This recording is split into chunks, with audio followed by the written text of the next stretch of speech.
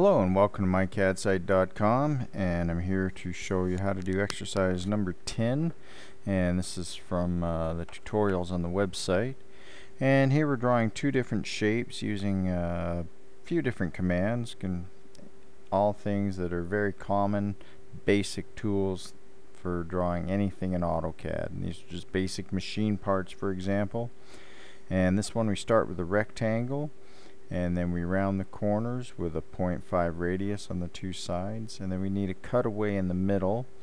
And we know that the center is at the midpoint. So we select that and put in a radius of 1.5 and from there all we need to do is trim out the circle and the line using uh, cutting window. So now we need to put in circles in the corners and this is at the same point as the center. And it's a 0.2 diameter sorry radius. And I'll just mirror that to the other side. And now we know that we've got everything in there. Go ahead and draw the second shape. And this one's going to start with two circles. And the first one is going to be a one unit diameter circle and the outer one a three unit diameter circle now to get the keyhole at the top I'm just going to draw a line up the middle offset at 0.2 to each side so that I get the 0.4 width. Now I need to come down 3 sorry 0.6 from the top of the circle. And for that I use the intersection so that I'm at the intersection of the center line and the top of the circle. And from there I'm just going to move that over a little and then offset at 0.6. I could also just move it down 0.6 so I don't have to erase the original line. That'd be the smart thing to do. And now it's just a matter of trimming up. I've got everything drawn in place that I need. So I select the lines I need to trim.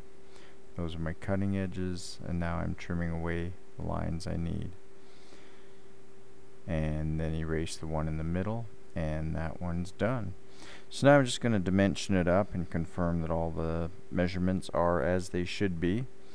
And you'll see I'm using O snaps. In this case I'm typing in the quadrant QUA to get that measurement for the 0.6. And from there I'm just going to go around. So just to review the tutorial, uh, you're going to be using a lot of different tools in different ways. And the main thing to remember is that there's more than one way to draw something in AutoCAD.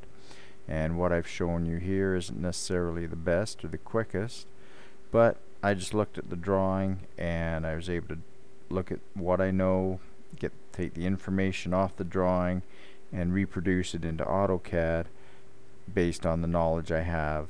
And in this case I used a very small number of tools or commands to get this drawing completed and fairly quickly as well. So thanks for watching. This is mycadsite.com. Stay tuned for more videos.